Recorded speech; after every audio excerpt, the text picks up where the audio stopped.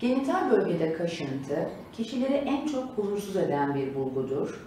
Çünkü kaşıntının ne zaman olacağı, ne şekilde süreceğini kestirmek mümkün değildir ve hastaların sosyal hayatında onları zor duruma bırakabilmektedir. Kaşıntı en sık olarak vajinal mantar enfeksiyonlarında gördüğümüz bir bulgudur. Kaşıntının yanı sıra dudaklarda şişme ve kızarıklık da genellikle eşlik eder.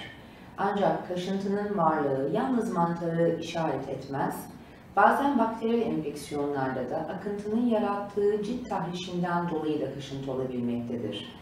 Yine aynı şekilde kullanılan iç çamaşırının materyali ya da kullanılan çamaşır tozunun cinsine bağlı olarak meydana gelen alerjik problemler de kaşıntıya yol açmaktadır.